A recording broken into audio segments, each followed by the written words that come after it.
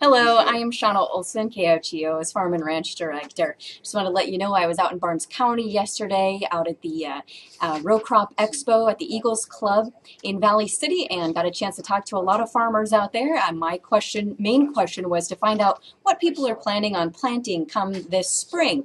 And the biggest answer I got out there was they're going to stick to what they did last year and typically do the same type of thing. However, a lot of farmers did say that they plan on making some last minute decisions uh, if need be. Also talked with uh, the Barnes County Extension Agent Randy Grin- and he told me too that soybean cyst nematode showed up in Barnes County for the first time this year.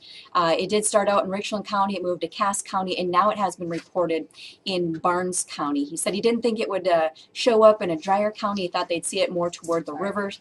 Uh, however, it did show up in uh, Barnes County here this year. And they're going to keep a close eye on that as we approach the coming years.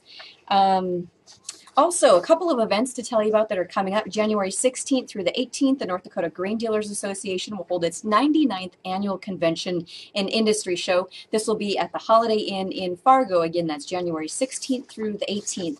And also, NDSU has scheduled its Getting It Right soybean production meetings, and uh, those are in four cities across North Dakota. And here's a look at where some of them are located or all of them. Tuesday, January 25th at 10:30 in Wyndmere at the Community Center.